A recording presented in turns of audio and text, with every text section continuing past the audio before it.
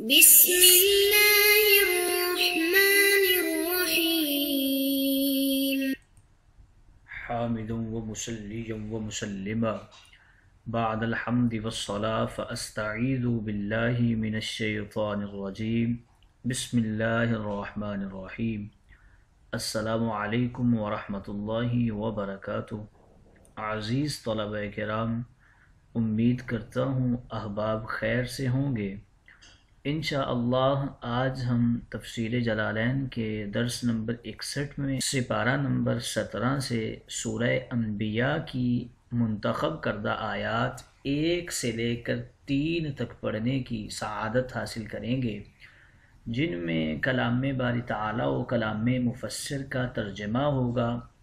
रबतो ताल्लुक आयात को ज़िक्र किया जाएगा और तफसीरी अगराज की तशरीह तोदी होगी। तो आइए तलब कराम, आज के दर्स को शुरू करने की सआदत हासिल करते हैं। बिसमीम रब ताला ने इरशाद फरमाया इकतरबलनासी हिसाबुहुम वहुम फ़ी गफलत मुआरिदून आइए तलब कराम इन आयात मुक़दसा का माकबल आयात के साथ रबत और ताल्लुक़ जानते हैं। सूर अम्बिया को हम शुरू कर रहे हैं। तो इस सूरत पाक का पिछली सूरत से चंद तरह से ताल्लुक़ है।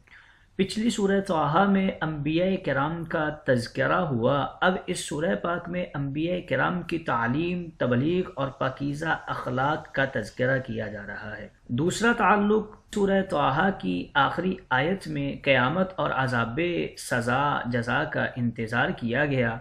अब इस सूरत की इब्तदाई आयत में क़यामत हिसाब किताब के इंतज़ार की घड़ी करीब आने का ज़िक्र है। तीसरा ताल्लुक पिछली सूरत तोहा की अक्सरियत में कुफ़ार की ज़िद, हसद, सरकशी और इस्लाम से मुँह फेरने और दौलत के ऐश में रहने का ज़िक्र हुआ है। अब इस सूरत की आयात में उसकी वजह बयान हो रही है कि वो कुफ़ार गफलत की ज़िंदगी बसर करते भटकते फिर रहे हैं। चौथा ताल्लुक ये है कि पिछली सूरह तोहा में फ़िरौन मूसा का तफसीली ज़िक्र हुआ। फ़िरौन ने मोजात देख कर मूसा को जादूगर और मोज़ों को जादू कहा था।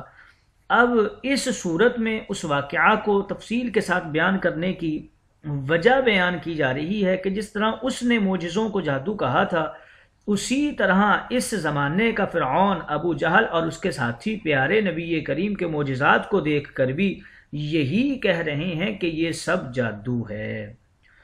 आइए तलब करम, शान नजूल भी जान लीजिए। मक्के के सरदार कुफ़ार जो थे, वो इनकार क़यामत करते हुए कहा करते थे कि क़यामत वगैरह कुछ भी नहीं होगा। अगर आनी भी है तो अभी बहुत ज़माने पड़े हैं, सदियाँ पड़ी हैं, लंबी मुद्दतें हैं, बहुत दूर है। लिहाजा डरने की कोई बात नहीं है। तो उनके इस कौल की तरदीद करते हुए जवाब में ये आयत, जिनमें बताया गया कि क़यामत बहुत ही करीब है और दिन ब दिन करीब होती जा रही है। ये सरकशी और गफलत, ये सरासर तुम्हारे लिए नुकसान ही नुकसान है। आइए तलब कराम अरबत ताल्लुक आयात के बाद बढ़ते हैं अपने आज के दर्स के तर्जमा की तरफ़। बता रहे हैं कि सूरह अम्बिया जो है, ये मक्की है। इसकी 111 या 112 आयात हैं। बिसमीम एक तरबकार वलन्नासी करीब आ गया है लोगों के लिए हिसाब का दिन। किन लोगों के लिए? अहल मक्का, यानी जो मुनकरीन बास हैं, क़यामत पर ईमान नहीं रखते थे तो उनके लिए क़यामत का दिन करीब आ चुका है। वहम फ़ी गफलत मारदून बिल ईमान। और ये गफलत में पड़े हुए हैं, उस दिन से और एराज़ कर रहे हैं।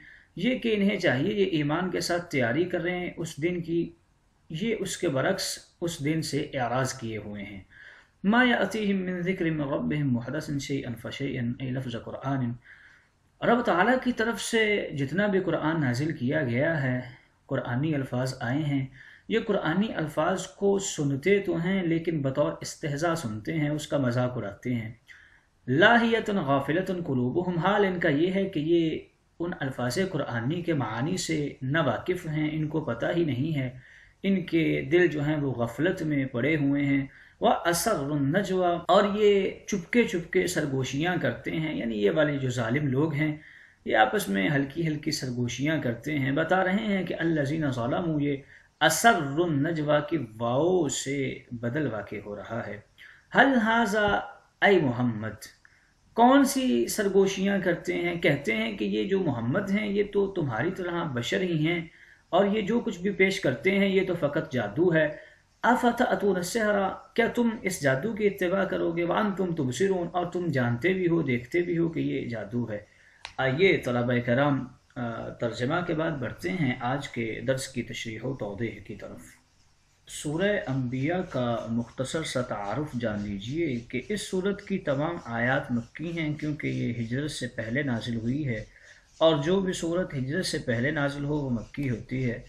इसका नज़ूल का जो नंबर है, वो तिहत्तर है और ये सूरत, बहत्तर सूरतों के बाद नाजिल हुई है। इसमें सात रुकू हैं और कुर्रा कोफा और मक्का के नज़दीक इसकी 112 आयात हैं और कुर्रा मदीना और बसरा के नज़दीक इसकी 111 आयात। सूरह अम्बिया के कुल एक हज़ार एक सौ अठासी अल्फाज हैं। और इसके हरूफ चार हज़ार आठ सौ साठ हैं। बाज़ ने कहा कि इसके हरूफ चार हज़ार आठ सौ नब्बे हैं। तीस हरूफ जायद ज़िक्र किए हैं गालिबा उन्होंने खड़ी ज़बर को भी अलिफ माना है। इस सूरत के अंदर कुल आठ चीज़ें ज़िक्र की गई हैं। गाफिलीन को झड़का गया है। रसूलो नबी की मारिफत और पहचान का गलत और सही मैार बयान किया गया है। तोहीद बारी ताला की पहचान और मारफत के अकली फ़िक्री अफलाकी दलाइल दिए गए हैं। दुनियावी ज़िंदगी का बयान कि वो खेल कूद के लिए बेनतीजा नहीं दी गई, बल्कि अगली उखरवी ज़िंदगी की बड़ी कामयाबी, नाकामी हासिल करने के लिए दारुल अमल है। फ़रिश्तों के मुतक कुफ़ार के बातिल अकीदे का बयान और इसकी तरदीद बुतलान है। मुख्तलिफ़ आयात में चंद अम्बिया सलाम की सीरत तय्यबा का बयान था कि हर बंदा उनके तर्ज अमल और ज़िंदगी से वाकिफ़ हो जाए। आठवें नंबर पे तीन चीज़ों को बयान किया गया है। अव्वलन ये कि नेकी और सदाकत की पैरवी ही कामयाब ज़िंदगी है और इसी में ईमान की बका है। दूसरे नंबर पे कुरान मजीद की शान बयान फरमाई गई है और फिर आकाए कायनात की शान आसमत नबुवत तामा और आलमीन होने का ज़िक्र किया गया है। इस सूरत की वजह तस्मिया ज़िक्र कर रहे हैं कि इसकी वजह यह है कि इसमें सोलह अम्बिया कलाम के इसमाय मुक़दस अलकाब मुआज़म मुख्तसर तस्करा और खसूसी शान इनामत इलाहिया का बयान है। इसलिए इसे सूरह अम्बिया कहते हैं। एक करूबलनासी अजीब हमाकत और जुल्म है। कुफ़ारो, मुनाफिकीन और फासिकीन, फाजरीन का अपनी जानों पर कि क़यामत का दिन करीब आ चुका है और ये बदनसीब अभी तक गफलत में पड़े हुए हैं। ईमान के ज़रिए इतात के ज़रिए ये अपने आमाल को सुधारने की कोशिश नहीं कर रहे और राह रास्त पर नहीं आ रहे। इनको बड़ी दफ़ा वाजो नसीहत की गई है। नबी करीम सल्लल्लाहु अलैहि वसल्लम ने जब भी रब ताला की तरफ़ से कोई नया कलाम इनके पास आता है तो ये ऐसे बदकिस्मत हैं कि ये उसको सुनते हैं, लेकिन इस्तेजा के तौर पर और बेतवजही और बेदहानी करते हुए गोया ये सब ईमानियात को खेल समझते हैं। लाहियतन कुलूबहम, महबूब इनके जो दिल हैं वो गफलत में पड़े हुए हैं, मजाकबाजी में लगने वाले हैं।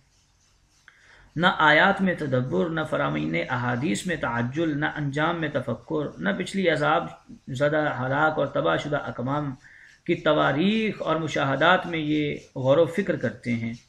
अल्लाह ताला ने हर इंसान को पाँच कुव्वतें अता फरमाई हैं। पहली कुव्वत समात है। दूसरे नंबर पे अगर कुव्वत समात दुरुस्त हो तो बसारत हासिल होती है। बसारत दुरुस्त हो तो बसीरत ज़ाहिर होती है। बसीरत ज़ाहिर हो तो तदब्बर पैदा होता है। तदब्बर किया जाए तो तफक्र नमूदार होता है। इन पाँचों को इस्तेमाल किया जाए तो तफक् बेदार होता है और इनको सही इस्तेमाल के दो ज़रिए हैं। पहला है तवज्जो कलबी और दूसरा है तसल्लुब आकली, यानी कल्ब अगर समझने पर आमादा हो जाए तो अक्ल कायम होकर डट जाती है। लेकिन ये इतने बदनसीब हैं कि ये रब ताला की आयात के अंदर गौर व फ़िक्र करना पसंद ही नहीं करते। इनके दिल इस चीज़ को कबूल करने के अहल ही नहीं है, मानी व मफाहिम ही नहीं जानते। और असर नजवा, और बजाय कि ये अकल से काम लें, राह रास्त और तरीक़ा निजात पर आने के खुफिया इज्तमात और महफिलें कायम करके ऐसी सरगोशियाँ और आहिस्ता बातें करते हैं कि ये अपनी जानों पर अबदी व खरवी जुल्म करने वाले कुफ़ार मक्का ये मजलिसें और ये बातें, या इसलिए हैं कि ये देखें, अगर ये नबी हैं तो इनको हमारी खुफिया इजतमाही महफिलों में आहिस्ता बातों का पता लगता है या नहीं।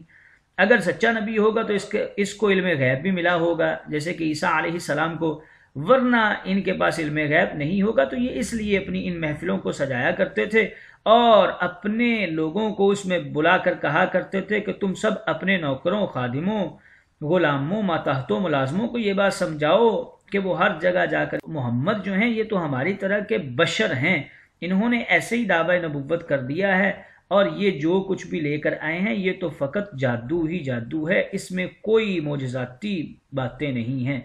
अब फ़ाता अतून हरा तो क्या तुम उसके जादू में फंसना चाहते हो? हमारे मुशाहदे और बताने समझाने के अलावा वन तुम तुबसिरून, और हालाँकि तुम देख रहे हो, तुम खुद भी अक्लमंद हो, बसारत वाले हो, और तुम जानते हो कि ये सारे का सारा जादू है। इसके हवाले से मुफसरीन नाम कुछ अकबाल करते हैं कि एक कतार अबलन्नासी हिसाबु में तीन कौल हैं।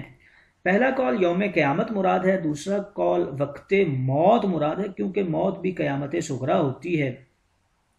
और इसके अंदर तीसरा कॉल, इससे मुराद ज़िंदगी की हर आने वाली घड़ी है, क्योंकि वो हिसाब क़यामत से करीब करने वाली है।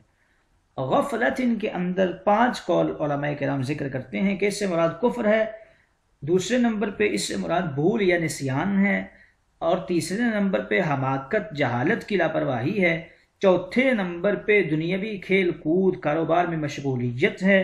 पाँचवें नंबर पे इससे मुराद दुनिया परस्ती और दुनिया साजी है। बशर मिसलुकुम के हवाले से कुछ अकवाल ज़िक्र किए हैं कि इससे मुराद ज़ाहरी खाल, बाल, आज़ा और शक्ल सूरत वाला इंसान है। और दूसरे नंबर पे इससे मुराद बातनी आज़ा, अक्ल, दिल, दिमाग, गुर्दे, कलेजी, सीने में दे वाला इंसान है। कुफ़ार ने मारफत नबुवत को शक्ल सूरत और अक्ल से हासिल करना चाहा। हालाँकि नबुवत की पहचान वो बशरी शक्ल सूरत से नहीं, बल्कि नबुवत की पहचान मोजात के ज़रिए होती है। मुहदसिन में तीन कौल हैं। इससे मुराद अल्फाज हरूफ कुरान है। इससे मुराद एक हुक्म का बार बार नाजिल होना है, या फिर इससे मुराद नजूल अल्फाज है, न कि कलाम और माना कलाम।